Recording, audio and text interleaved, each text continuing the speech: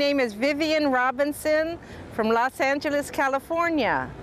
And I also called, I'm also called the Olympic super fan. 全身上下充满奥运 logo，各式各样的别针，还挥舞着各国国旗，光看就知道六十六岁的维维安是个超级奥运粉丝。这次的巴黎奥运已经是他参访的第七届奥运了。And I sewed all of these decorations onto my outfit. It took me like a year. I have a lot of pins to trade with people.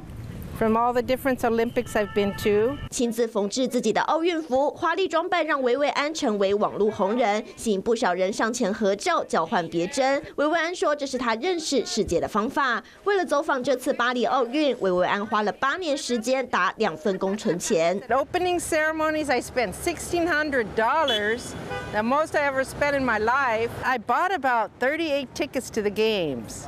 which I kind of overspent. I can't go to all those games. 花了将近三十三万台币买门票，虽然回去还得面对庞大的信用卡贷款，但维维安直呼非常值得。奥运狂粉不止维维安一人，五十四岁的石川恭子也是连追奥运三十二年的资深粉丝。I have a 21 tickets uh, to watch like 21 competitions, uh, including uh, opening ceremony and closing ceremonies. 日式古风装扮。榜上必胜的头饰，石川公子除了受疫情影响的冬奥以外，从一九九二年开始，从没有缺席任何一场奥运盛事。石川公子和维维安这次也在巴黎首次合体。We have something in common, right? Yeah.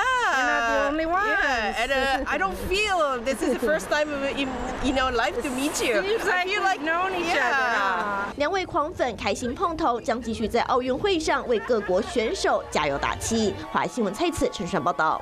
嗨，大家好，我是颖彤。想要来抢先掌握最及时的新闻资讯吗？